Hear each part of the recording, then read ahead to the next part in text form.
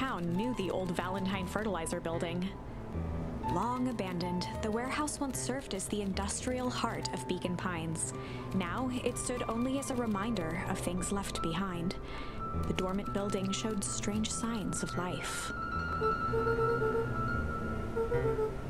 There was only one way to find out.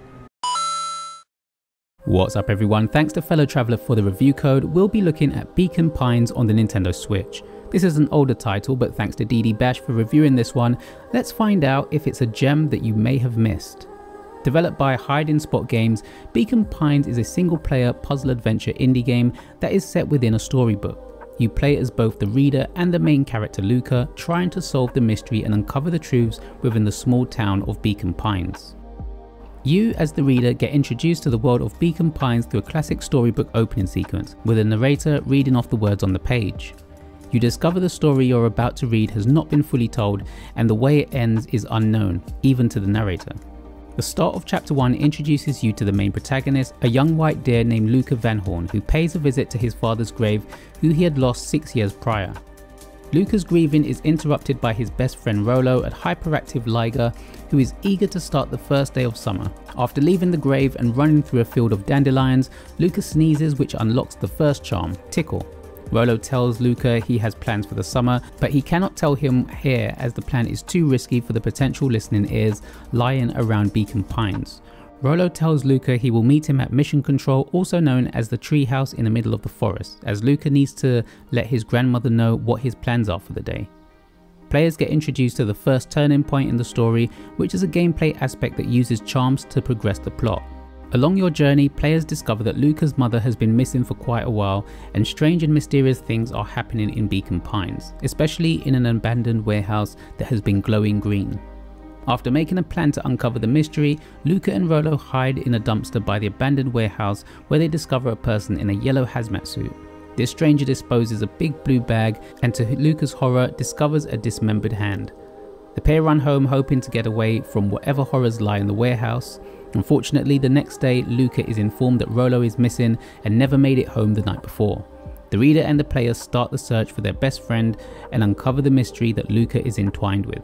The gameplay of Beacon Pines is quite simple in terms of controls, as players use the left analog stick to control Luca and an action button to talk to villagers and interact with objects. An interesting aspect of Beacon Pines is the charms and the chronicles.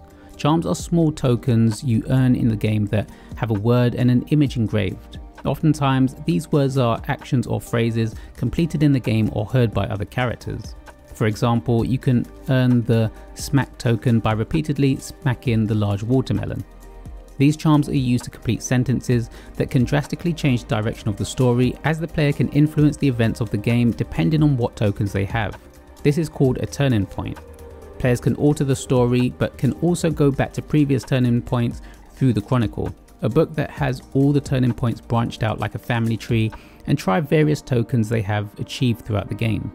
While this sounds complex, it's fairly easy to grasp when playing through the game. Beacon Pines is visually pleasing with a soft colour palette and a painterly style that you would find in storybook illustrations. Every area in the game features beautifully detailed backgrounds and buildings that capture the essence of a small town. Everywhere is filled with foliage and pathways that help guide the players on where to go without being distracting or breaking immersion. There are extra details that make the overall experience delightful, and this happens when the camera zooms out to show the book and you get to experience illustrations side by side with the text and page numbers.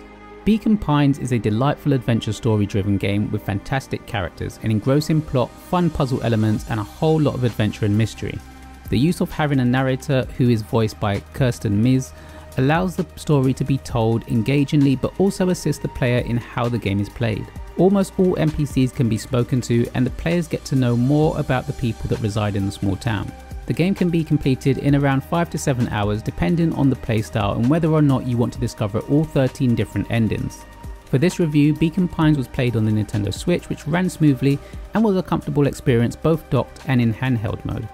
Beacon Pines would be classed as an essential buy for those who love beautifully crafted and interactive storytelling. At its price point, Beacon Pines is worth every penny and worth picking up straight away. To those who prefer waiting for a sale, it would be an essential pickup. An important note is that though this may be visually appealing to younger audiences, Beacon Pines is a PEGI 12 as it does have some dark themes and some bad language. Beacon Pines is out now on the Nintendo eShop priced at $17.99. Big thanks once again to DidiBash for writing this review. Thanks to Fellow Traveller for the review code and of course to all of you for watching. Don't forget to hit the like button if you enjoyed the review, subscribe for more like this. I'm Dan and I'll see you soon.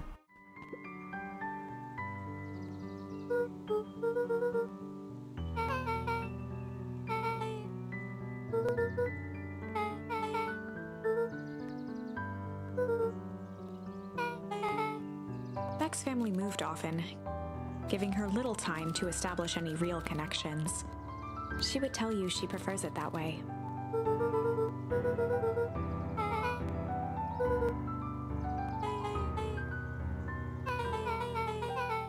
Luca shifted his feet uncomfortably.